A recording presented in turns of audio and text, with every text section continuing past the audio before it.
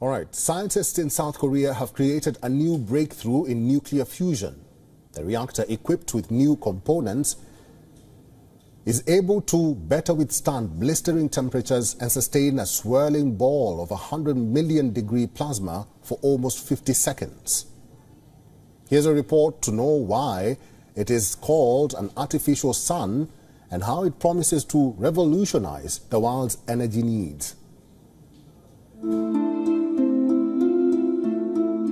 The sun is the brightest object in the sky.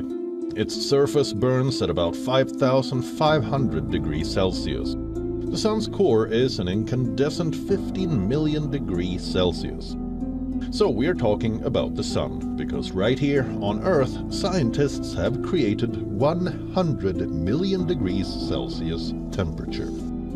Many times hotter than even the sun's core.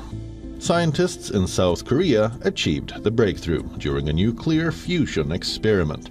While it may sound like science fiction, but nuclear fusion scientists have replicated the reaction that makes the sun and other stars shine by fusing together two atoms to unleash huge amounts of energy so let me explain. Nuclear weapons and nuclear plants work on the concept of nuclear fission.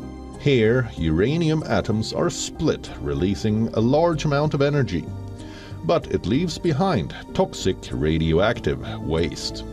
That's where nuclear fusion can become the game changer. It also works with the tiny atoms, but instead of splitting them, they are merged to produce massive amount of energy. And eureka! There is no waste.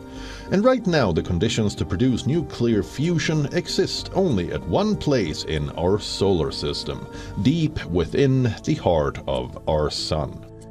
For decades, scientists around the world have worked to develop mini suns that needs hydrogen atoms heated above 100 million degrees Celsius, and then confining them long enough so they can merge into heavier atoms to release huge energy. But South Korea is not alone to achieve what was till a few decades back thought to be an impossible feat. The South Korean announcement adds to a number of other nuclear fusion breakthroughs made by the US, UK, and China.